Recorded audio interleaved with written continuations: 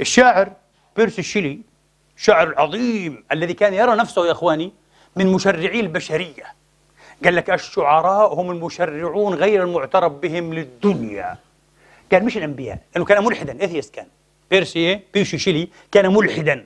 وكتب هو شاب في الجامعة بيان الالحاد قال لك بلا أنبياء بلا رسالات بلا أنبياء؟ الله العظيم أنا أقول لكم وخاصه اقرأوا اقرأوا تاريخ الفكر والأفكار وأنتم ستفهمون هذا الشيء بشكل واضح. الدنيا هذه بلا نبوات بلا رسالات. رسالات حقيقية تفهم حقا آه؟ مستقبلها مخيف جدا. مش مربك مخيف فظيع في أي لحظة. كل ما نحن في هذا ممكن ينهار في أي لحظة.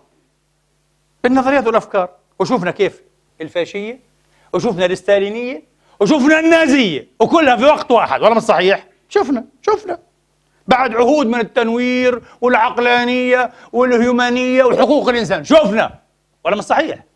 والآن ممكن تشوف كمان ما هو أفضل. عادي جدا. ما في أمان. ما في أمان حقيقي. وطبعا فيش أمان مع الدين بالطريقة اللي إيه اللي بعض الناس يفهمون الدين بها. فيش أمان بالمرة. فيما هو أسوأ.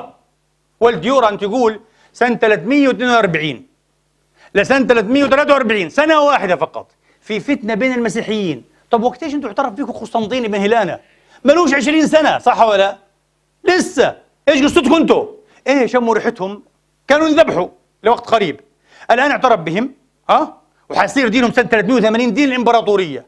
لسه قبل 340 ل 43 فتنه بين المسيحيين أنفسهم يقول ديورانت راح فيها من الضحايا المسيحيين أكثر مما سجل التاريخ من ضحايا الرومان من المسيحيين.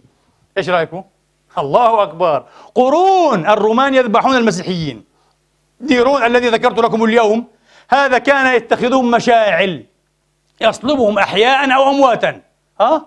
ويشعل بهم كأنهم مشاعل في الطريق. إيش رأيكم؟ يعمل هذا بمئات وآلاف الجثث.